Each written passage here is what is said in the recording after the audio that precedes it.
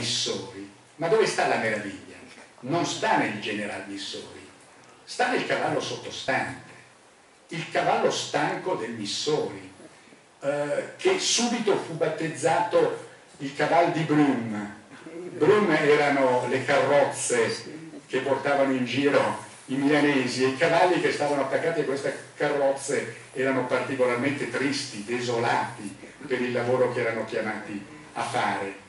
Ma dopo questa prima eh, voce, eh, il cavallo del Missori è stato preso ad esempio per tutte le persone un po' tristi, giù di corda, demoralizzate, eh, te, te sei nel, nel cavallo del Missori, era un modo di dire comune a Milano, probabilmente lo è ancora adesso, perché in effetti questo cavallo sembra un ronzinante rispetto al, al, al carattere tronfio del personaggio che gli sta sopra, tanto che un eh, poeta ha pensato perfino di dedicare una poesia a, a questa statua. Adesso se la trovo vi leggo pochi versi.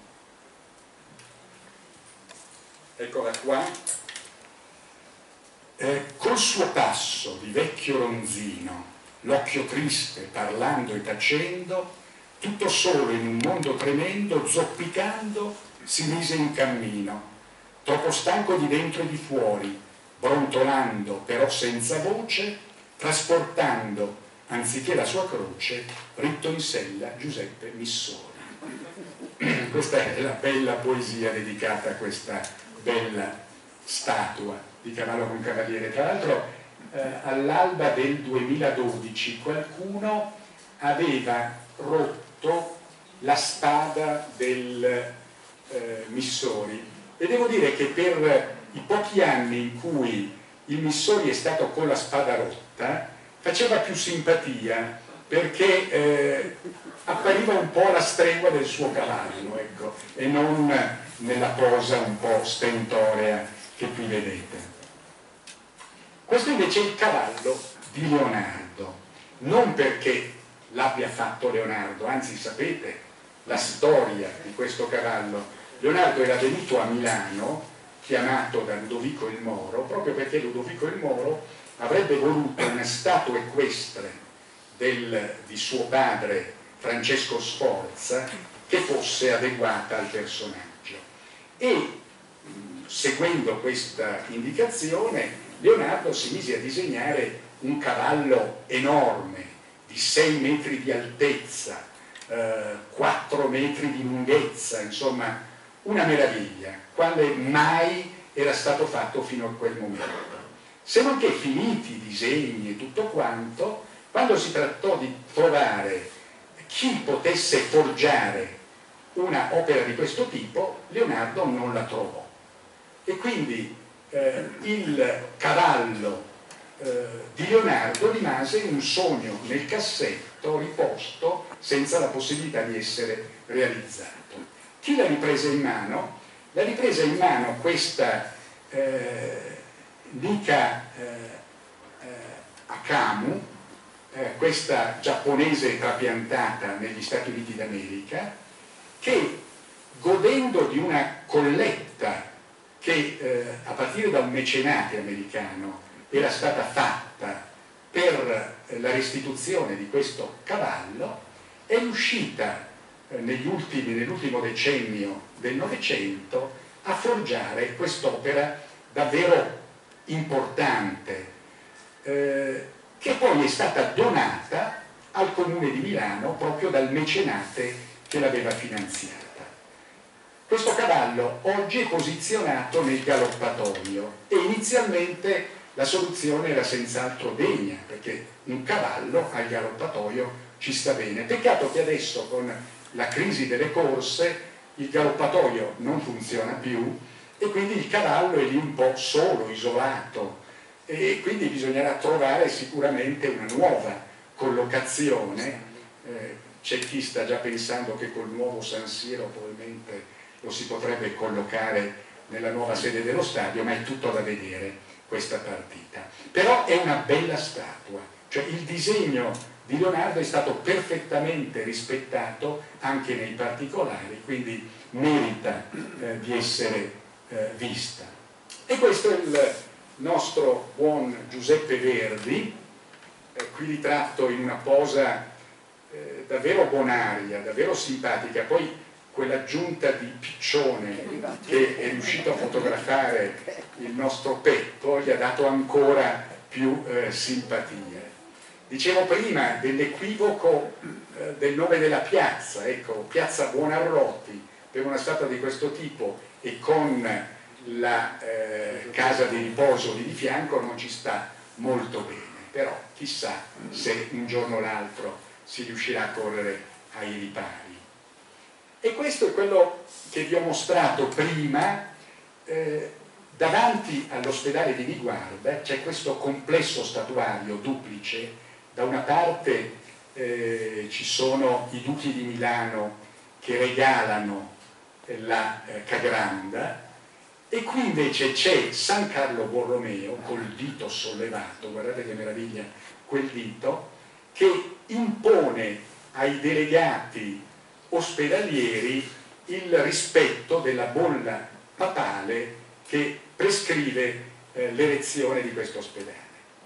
L'opera è di Francesco Messina e Francesco Messina ha scelto eh, per eh, i visi dei due delegati due suoi amici, tra l'altro personaggi famosi, perché il primo che vedete è un poeta, Vincenzo Cardarelli, e il secondo, che vedete un po' eh, in lontananza, è un pittore, eh, Marussig, che erano stretti amici del Messina, che quindi ha voluto far loro omaggio di questa, eh, portarli così alla, a notorietà attraverso questa bella eh, statua. Vi dicevo che questo complesso statuario, come l'altro, stanno davanti all'ospedale di Riguarda. E allora consentitemi solo di fare un piccolo omaggio all'ospedale di Riguarda perché se eh, eh, la Cagranda è stato il grande ospedale del 400, il primo ospedale europeo voluto a Milano dai duchi di Milano e dalla volontà papale, eh, il Niguarda è stato il grande ospedale del Novecento milanese, realizzato e concluso nel 1939 eh, e quando fu inaugurato nel 1939 fu giudicato il più bello ospedale parco d'Europa, perché la commistione tra padiglione e verde, c'era stato un architetto del verde che si era particolarmente eh, dato da fare per rendere ottimale la piantumazione in Niguarda, tanto che in nessun mese dell'anno non c'era un fiore a Niguarda, proprio per lo studio particolare che era stato fatto. Oggi con la ristrutturazione, i nuovi blocchi, eccetera, purtroppo gran parte di quel verde è andato perso, ahimè, il mio ospedale. E questo è quel monumento molto bello che vi dicevo, in piazza Formentano. La piazza Formentano è quella che un tempo era la piazza Marinai d'Italia. Formentano è stato il medico che ha fondato l'Avis e allora l'Avis ha ritenuto, vista la denominazione della piazza Formentano, di dedicare un monumento ai donatori di sangue. Questo monumento è stato fatto da una scultrice me piace dire scultrice, eh, ungherese naturalizzata in Italia, che ha rappresentato questo, eh, questa simbiosi di un uomo e di una donna, dove la cosa più eh, eh così che attira l'attenzione è che la donna praticamente perde la pelle, dona la sua pelle all'uomo che sta abbracciando e quindi è un gesto di donazione, di generosità, che rende il monumento particolarmente empatico, particolarmente emozionante. Merita di essere visto e considerato oggi una delle cose più belle presenti eh, in, eh, nella città di Milano. Questo è quello che vi dicevo prima, il eh, monumento ossario eh, dei piccoli martiri di Gorla che richiamano quella data terribile del 20 novembre del 1944, quando un aereo che doveva essere amico inglese, invece di piazzare la bomba come avrebbe voluto eh, eh, nelle, eh, sulla Breda, per errore la sganciò sulla eh, scuola elementare di Gorla, causando nel giro di pochi secondi 180 erotti morti bambini, più 18 morti tra il personale docente, quindi più di 200 morti per questo errore. Eh, e a questo episodio, nella piazzetta di Gorla, che è uno dei luoghi più belli di Milano, se l'avete visto con la Martesana lì di fianco, un angolo molto parigino, molto comunque tranquillo, è stato fatto questo monumento in cui vedete una madre piangente, coperta da una sorta di saio, che regge un bambino eh, che ha raccolto tra le macerie e che perde ancora il sangue dalle mani, l'avete notato. Poi c'è un particolare che qui non si vede, si vedeva nelle foto precedenti, perché i bambini come hanno rappresentato dopo questo evento. Hanno disegnato e, e lo scultore ha rispettato sui due pilastri posteriori eh, il disegno dei bambini, un aereo che scende sulla scuola intatta e poi lo stesso aereo dall'altra parte che risale con la scuola distrutta. L'insieme di, di, di queste cose fa di questa statua una statua emozionante anche per la collocazione felice in cui sta. Questa è la grande sequenza di eh, Melotti davanti all'hangar Bicocca, è una porta che non è una porta, c'è una porta come la vedete che ha tutta una serie di tessure, per cui tra l'altro eh, nell'arco della giornata eh, il sole trapassa attraverso queste fessure creando dei fasci di luce particolari. C'è una foto che dovreste aver visto nel tramonto in cui l'effetto di questa porta, di questa grande sequenza è particolarmente efficace. Questo invece è un monumento di uno strano artista, Mitorai, un artista di origine polacca se non sbaglio, ma trapiantato in Italia, eh, che eh, si diverte a fare eh, questi eh, non finiti. Tutte le sue opere sono dei non finiti, in cui, ad esempio qui, accenna a un personaggio, non si capisce nemmeno, no, maschile chiaramente, però nell'ambito del personaggio vedete che al posto del cuore mette la testa di una persona e sotto il costato mette un busto di donna. L'insieme è, eh, cioè non si spiega, ma voglio dire, però è lo stesso stimolante.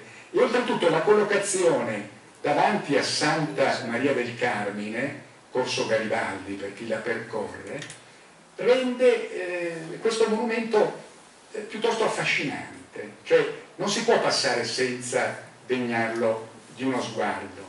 E tra l'altro Mitorai ha fatto altre opere di questo tipo nella stessa Milano, il monumento al Centauro, ma poi in altre città, lui mi ricordava Massa, Pietrasanta, io ne ho vista una a Pompei per dire, cioè è uno che ha disseminato di opere. Oh, no, no, Pompei proprio. E questa è la fontana restaurata eh, che si chiama delle quattro stagioni, in quella che era la piazza Giulio Cesare, davanti alla fiera campionaria. Eh, inaugurata nel 1936 o giù di lì, è rimasta attiva fino a che la fiera campionaria è rimasta attiva, poi dismessa la fiera da lì, eh, era stata lasciata andare eh, ed era un vero peccato. Con il rilancio di City Life, che è immediatamente dietro, da poco è stata rimessa eh, in, eh, in, funzione con i suoi getti d'acqua, le statue e quant'altro e fa un bel vedere davanti al, al nuovo skyline delle tre torri di City Life che tutti abbiamo negli occhi, i Sozzacchi, Hadid e lo Storto. E questo è il Carlin, cioè Carlo Porta. Eh, non è la statua originale del Carlo Porta, perché la statua originale del Carlo Porta, eh, fatta nell'Ottocento, sino al 1943 è rimasta nei giardini di Porta Venezia, al centro di un laghetto, tanto che i milanesi l'avevano ribattezzata, l'avevano ribattezzato il guardian di Oc, il guardiano delle oche. Poi una bomba eh, nel, del 43 gli è caduta proprio in testa e ha distrutto la statua. Negli anni 50 un, uno scultore Sioli delle nostre valli ha ripreso il disegno dello scultore originario e l'ha riprodotta esattamente come era prima, però questa volta la statua è stata posta in un luogo più consono, cioè al Verzé, eh, Corso Europa per intenderci, verso eh, piazza Santo Stefano. Perché al Verzé? Perché il Carlin è stato un grande cantore della minetta del Verzé. Il Verzé che cos'era? Era il grande mercato eh, comunale di Milano per sino alla metà dell'Ottocento, poi è stato spostato all'esterno e lì si svolgevano tutti i traffici, le vendite eh, che interessavano Milano. La minetta del Verzé era una donna un po' di facili costumi, potremmo dire, che però era generosa con molti milanesi e il Carlin gli ha dedicato una delle sue poesie dialettali eh, più famose. Quindi la collocazione lì è idonea per questa statua, che tra l'altro ha un piglio, anche questo molto simpatico, volitivo. Eh, eh qui la vedete tra l'altro restaurata, perché la prima volta che noi l'abbiamo fotografata, la statua era in pessime condizioni eh, cioè piena di smog, di, davvero messa male. Adesso invece lucidata eh, nel corso della pandemia, non sempre le, pand le pandemie vengono per nuocere, eh, adesso fa una bella, eh, una, una bella mostra di sé. E tra l'altro, per curiosità di fianco, è stata messa una statua di quel eh, poeta bulgaro Sleikov che vi ho citato, su di una panchina. Eh, il poeta sta da una parte, la panchina è più ampia, per cui voi vi potete sedere sulla stessa panchina del poeta, farvi fare una foto accanto a lui e rimirare da sotto in su eh, il Carlo Porta che è lì a due passi. E questo è appunto un omaggio che dobbiamo al Peppo che appena saputo che a Niguarda, eh, a, Niguarda, a Milano nel maggio scorso è stato inaugurato un monumento al Tex Filler, ha voluto andare subito a fotografarlo. Eh, abbiamo, abbiamo, fatto piuttosto fatica a trovarlo perché l'indicazione era in corso MacMahon, ma prima di trovare i giardinetti in cui stava questo monumento ce n'è voluta perché eh, questi giardinetti sono proprio piazzati in mezzo a due palazzoni. L'ingresso è angusto, poi per fortuna dietro i palazzoni i giardinetti si aprono e lì in mezzo ai giardinetti c'è questa statua eh, dedicata a Tex Filler che, intendiamoci, se la vedete qui vi fa eh, chissà quale impressione. Se la vedete vicina è una statuina perché è alta così su di un piedistallo piuttosto alto, quindi non è un gran bel vedere, è puramente una passione, una passionaccia che c'è il nostro Peppo che l'ha obbligato ad andare, che ci ha obbligati ad andare a fotografare questa statua. E credo che con la mostra abbiamo finito.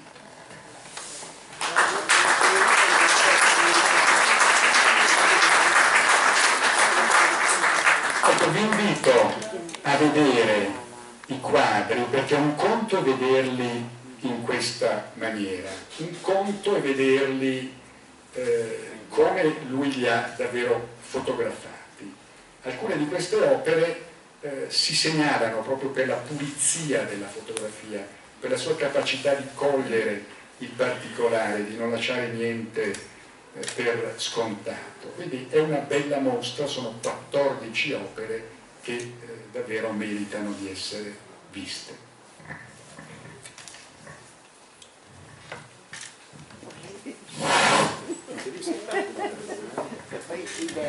Allora, poi ovviamente se avete delle domande potete farle subito o dopo, qui ci sarà naturalmente il firmacopie dei libri che potete acquistare là, poi si può andare a fare un giro alla mostra.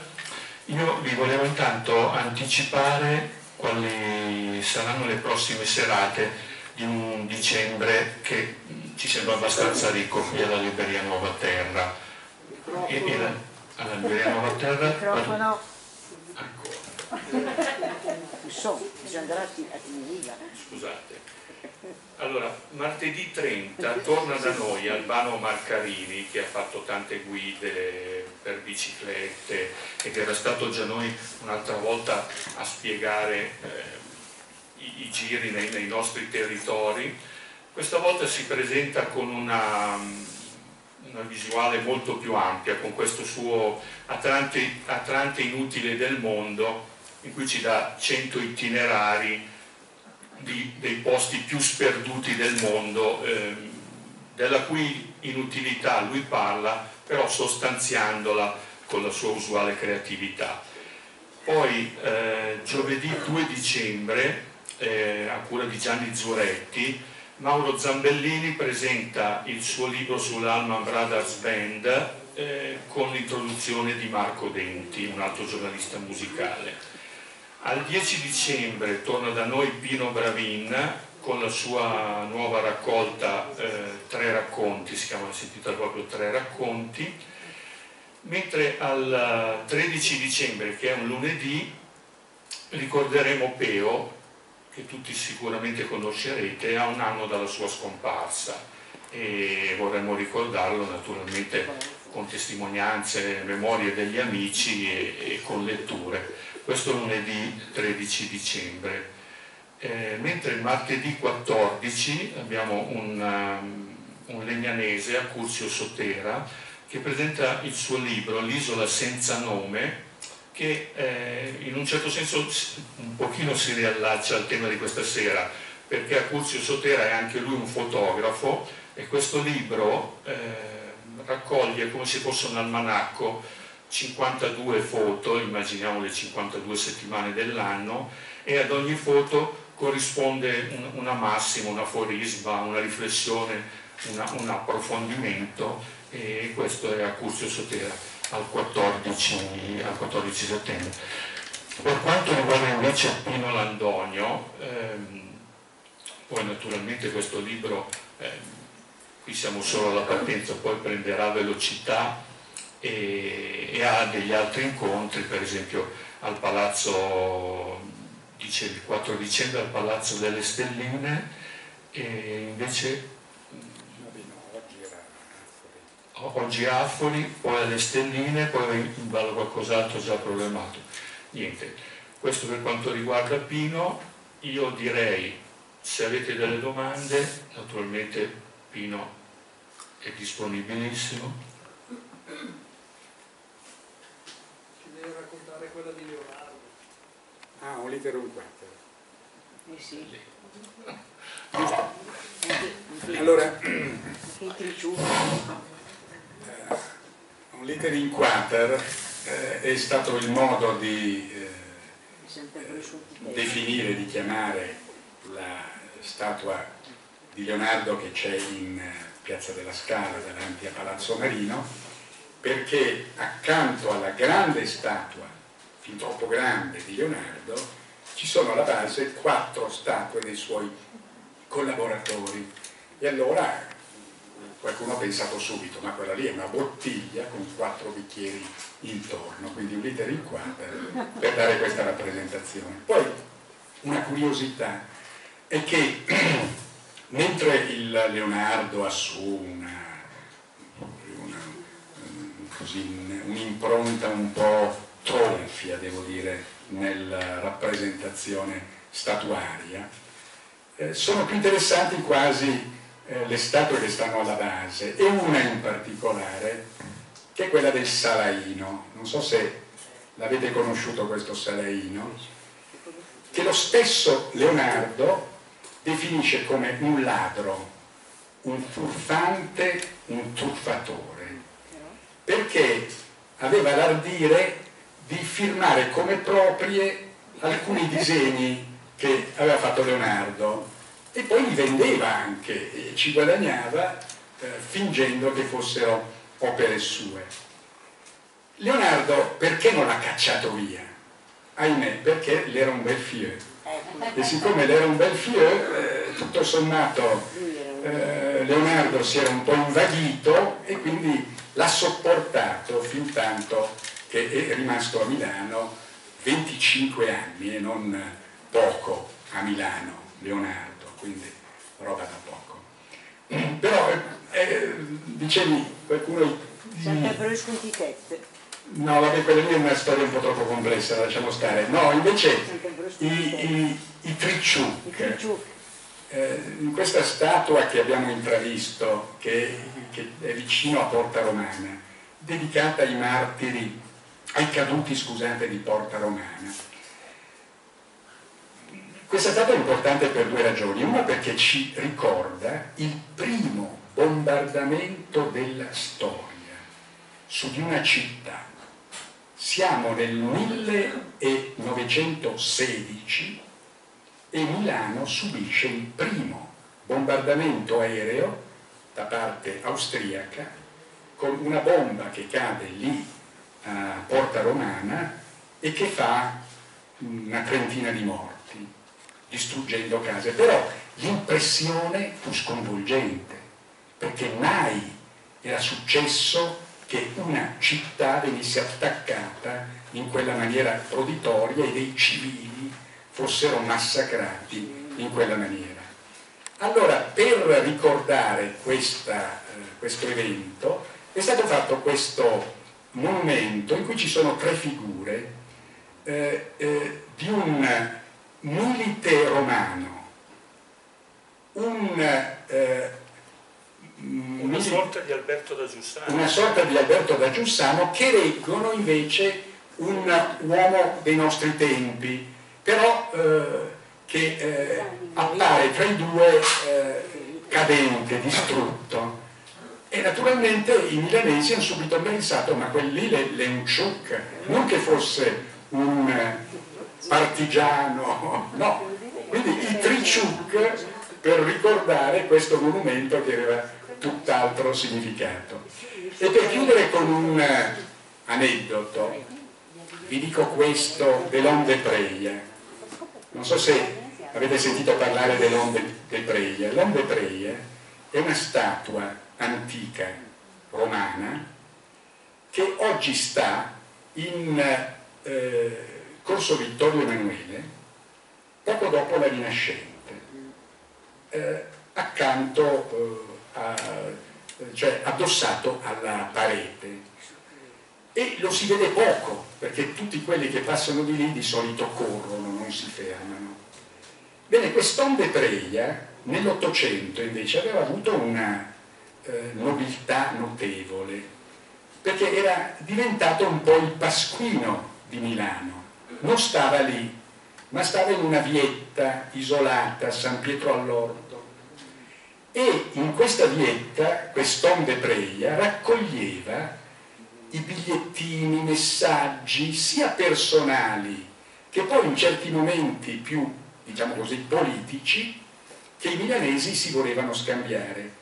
Ad esempio nell'atto preparatorio delle cinque giornate durante le giornate dello sciopero del fumo, eh, eh, questo onde preia si riempì di bigliettini, di avvisi che eh, raccomandavano di trovarsi a quell'ora in quel posto per poter dar luogo poi alle cinque giornate.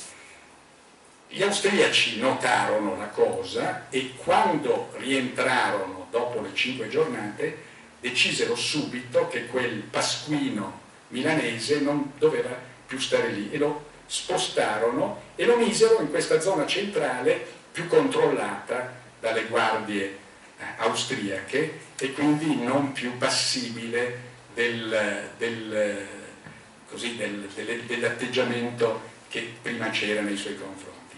Ma l'ultima cosa particolare di questa statua è che i milanesi, oltre che Onde Preia, eh, l'hanno chiamato Sciurcarera.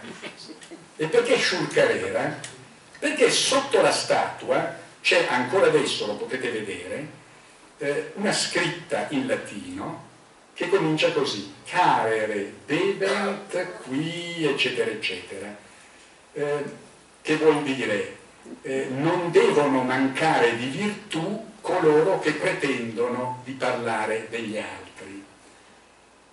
Non conoscendo bene il latino, i milanesi hanno pensato che quel carere fosse il nome della statua, quindi Shurcarera perché, ecco, cioè, vedete come molte statue si prendono dei nomi, delle storie che vanno ben al di là e al di fuori del seminato.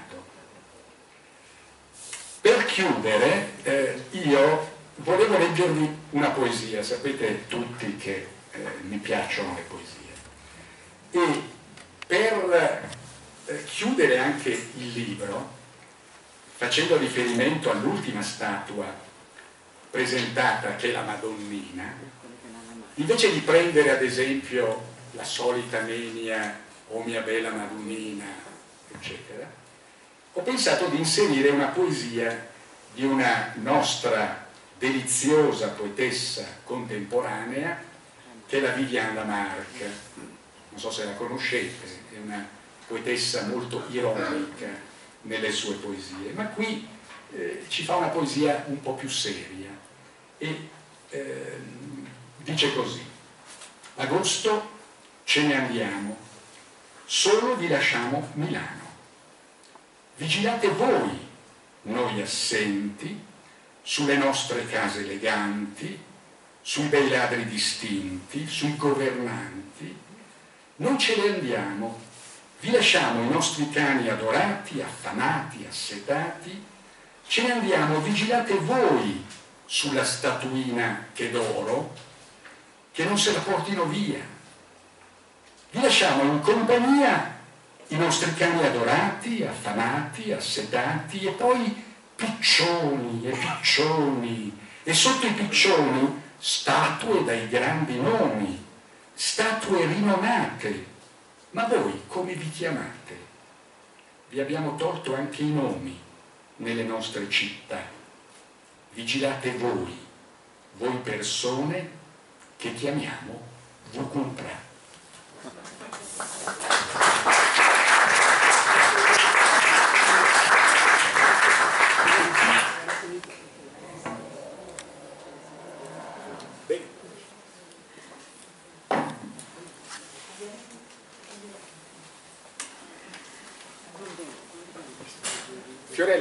Scendere o no? Ah sì. Allora vi invito a scendere a vedere.